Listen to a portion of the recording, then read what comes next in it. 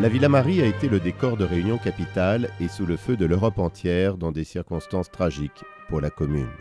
Cette villa, construite en 1883, était propriété de Jean-Marie Thévenet, issu d'une famille de la grande bourgeoisie lyonnaise. Elle fut ensuite transformée en hôtel-restaurant avant d'être rachetée par la régie des mines de la Sarre et enfin de devenir bibliothèque municipale.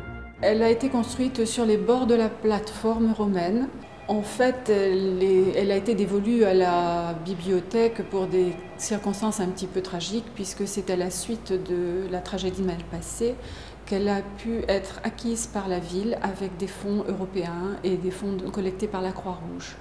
Et euh, elle devait être euh, destinée à un usage culturel. Et c'est à ce moment-là que la municipalité a pensé à y installer à l'époque une bibliothèque qui euh, n'occupait qu'une petite partie de cette magnifique villa.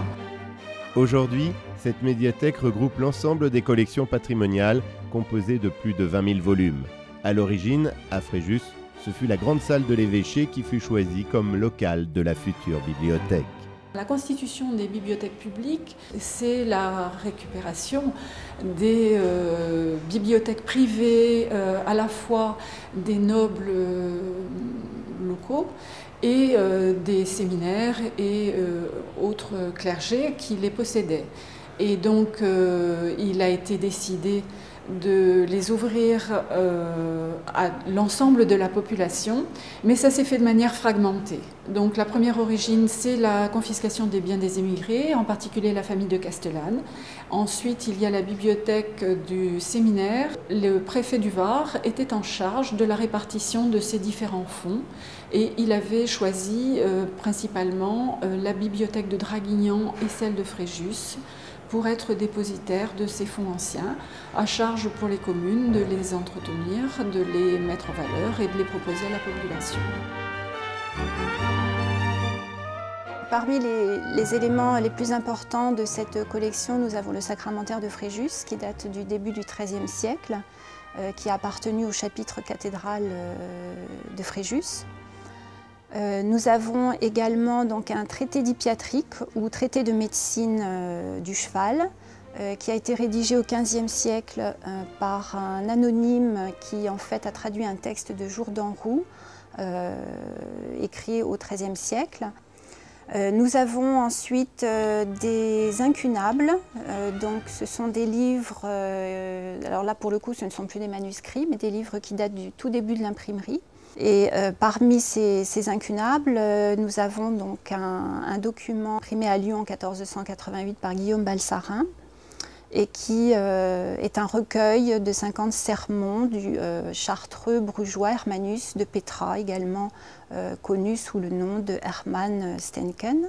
Un autre document également très important, c'est la description de l'histoire de la Chine par le jésuite Du Halde, euh, rédigé en 1735 et qui est un document euh, très important, euh, novateur à l'époque et, précurseur de ce qui sera l'encyclopédie et de cette connaissance encyclopédique qui marque le XVIIIe siècle.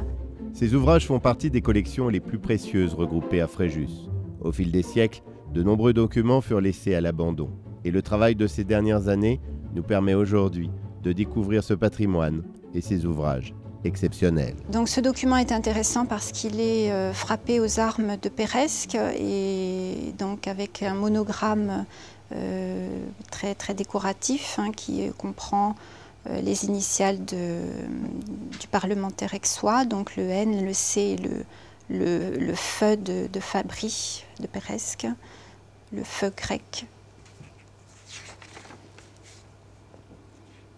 Et si on regarde le document donc, qui se trouve à droite, euh, eh bien, on s'apercevra qu'en fait, les, euh, les, initiales étaient réservées dans un deuxième temps et qu'une petite euh, lettre minuscule indiquait quelle devait être ce, cette gravure qui devait prendre sa place par la suite.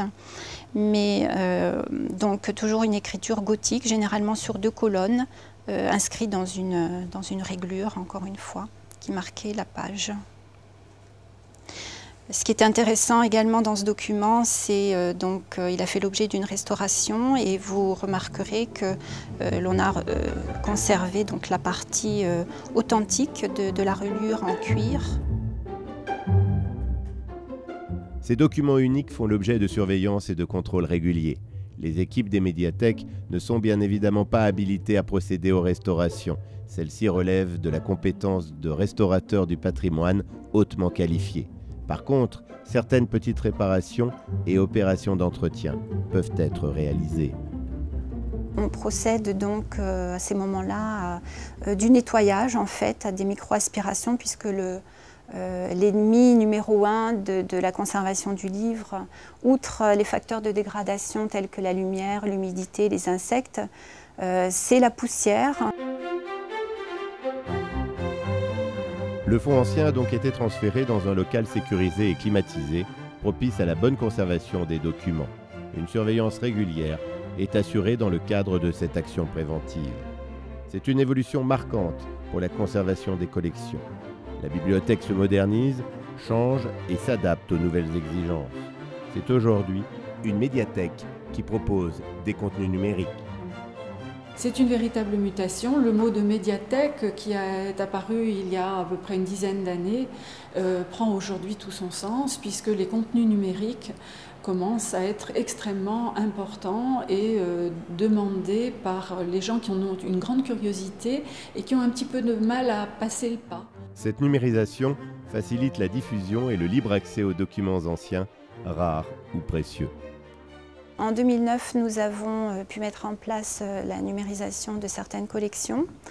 Euh, nous avons choisi de numériser le VAR, donc une collection de, journaux anciens, publiés entre 1853 et 1944 et qui, qui est accessible désormais sur le site internet de la bibliothèque. nous avons numérisé également l'encyclopédie de la vie fréjussienne de Marcel Foucault, qui est un, donc un, recueil d'histoires locales sur la vie euh, à Fréjus euh, de l'Antiquité jusqu'à jusqu'à nos jours pratiquement. Nous continuerons une campagne de numérisation, mais les fonds de Fréjus ont déjà été signalés de manière nationale et le ministère se réservait les numérisations euh, des collections déjà signalées. Aujourd'hui, c'est un peu plus large. Je pense que c'est nous qui allons procéder à cette numérisation, bien évidemment en accord avec les autorités nationales. La médiathèque se développe, innove et se diversifie. Des animations littéraires sont organisées, des ateliers thématiques, la mise en valeur de la littérature jeunesse, la rencontre d'auteurs, ainsi que les découvertes musicales. Caractéristique des demeures de villégiature construites sur la côte d'Azur à la fin du XIXe siècle, la Villa Marie est l'écrin d'un espace voué à la culture, la littérature et aujourd'hui le multimédia. La médiathèque Villa Marie a su traverser les époques, conserver son patrimoine et préparer son avenir.